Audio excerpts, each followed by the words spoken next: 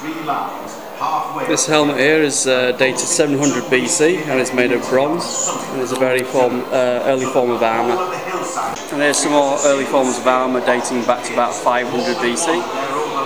Got some um, leg armour, belts, breastplates and helmets. After this um, you get chainmail appearing. After um, the uh, chainmail you got plate armour appearing before eventually uh, getting full suits of armour repairing, which I'm going to show you next. Uh, the plate armour is often worn with um, the chainmail underneath. The example of uh, 15th century armour, it's uh, German and um, you can tell it's German by the, uh, the lines on it and by the fact that you got like a curvature to the, um, to the belly as well. And this is an example of um, where they've got chainmail and the plate armours and well the full armour um, on as well. This is an example of um, some armour that would have been worn by a seven year old.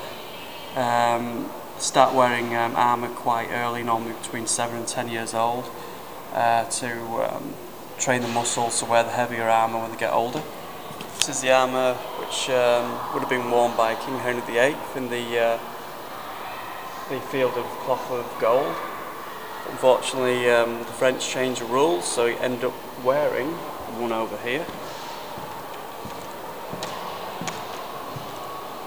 Which is still a very good design, allows uh, free movement, um, but certainly this one over here is um, one of the best armors ever made, uh, well, especially for the time anyway and it's uh, giving a 100% of uh, coverage that somebody would need.